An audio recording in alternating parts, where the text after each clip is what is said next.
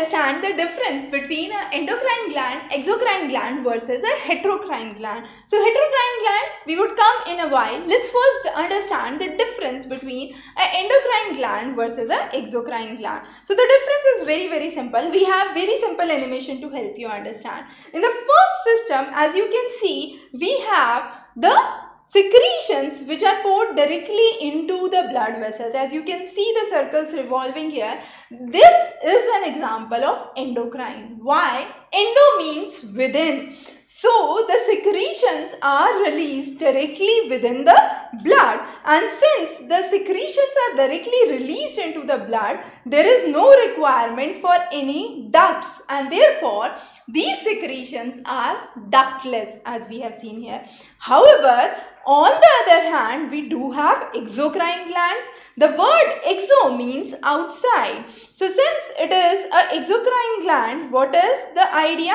The secretions are released as you can see here through the ducts and the secretions are released out and this is an example of exocrine glands. Sweat gland, a very common example of an exocrine gland. So sweat is released outside and therefore we call this as an exocrine gland. So this is one of the basic difference that we understand between the exocrine versus the endocrine glands. Let's move on to each of these differences one by one in detail. So as the first difference we understood all already, endocrine glands are ductless However, exocrine glands have ducts. That means the secretions of an endocrine gland are released directly into the bloodstream. However, that is not the case with the exocrine glands. They are poured into the cavity by certain ducts and therefore these are called as exocrine glands. The next important difference is endocrine glands as we have understood in endocrine system they have prolonged effect. The effect is long lasting because the message travels very very slowly and since the message travels slowly the effect remains for a longer duration. Exocrine gland you go out for a rigorous exercise and you do your workout, you do your exercise and it's all sweating. So that's for a brief period. You return back, everything turns out to be normal. So sweat glands we can take as a very simple example to understand each of the characteristics of exocrine gland. So exocrine glands, the effect remains for a shorter duration. However, endocrine glands have prolonged impact. But the secretions of endocrine glands are very very small. So the quantity, the proportion of secretions is relatively very less in endocrine gland and why it is less? The answer again is very simple because they are they, they secrete directly into the bloodstream. So even a small amount is sufficient. However, exocrine glands large amount of secretions is done and this is mainly because the secretions is by the duct.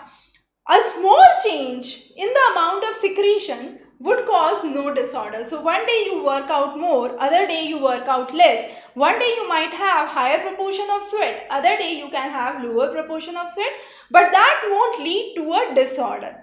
But the endocrine secretions are so important that even a minor change in the amount of secretion in the body can lead to significant disorders. Iodine deficiency is a common example. We would understand each of the glands into detail. But just to cite here, we have iodine as a common example.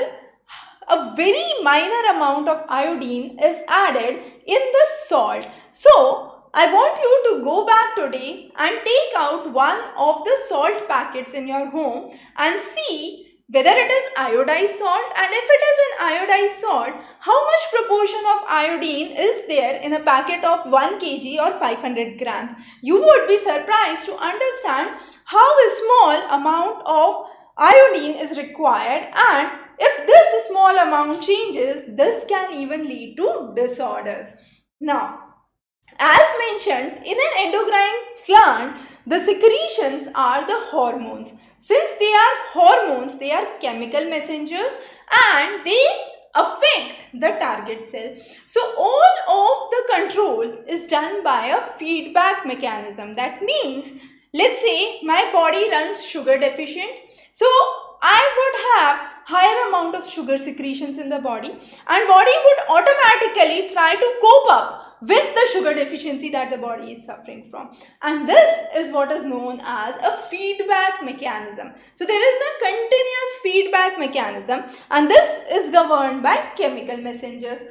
Exocrine glands are secretions that act as catalyst. That means they enhance the rate of reaction or the way in which the reaction progresses. Secretions of digestive juices are again good examples of exocrine gland. So we have certain common examples that we have here.